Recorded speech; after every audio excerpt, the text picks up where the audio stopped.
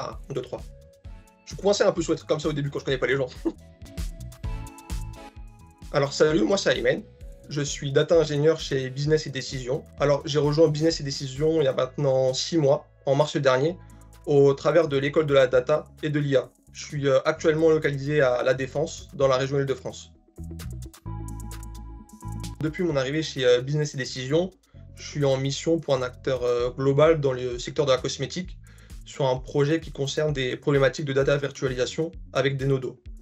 Alors, ce qui rend cette mission super fun, c'est d'abord euh, l'équipe. Elle est essentiellement composée de, spécialistes seniors. Et au-delà de ça, c'est aussi le contexte international. On est amené à bosser avec une multitude de pays au sein de cette mission. J'ai voulu rejoindre l'école de la data pour euh, deux raisons. C'est qu'étant euh, passionné d'intelligence artificielle et de data, cette formation m'a permis de découvrir et d'acquérir le savoir-faire interne quant à l'utilisation de la data chez euh, Business et Décision. Et la seconde raison qui m'a poussé à rejoindre l'école de la data et de l'IA, c'est que ça m'a permis d'obtenir différentes certifications qui sont reconnues par l'État. Parce que je retiendrai un mot de l'école de la data, c'est notre rencontre à Nantes à la fin de la formation.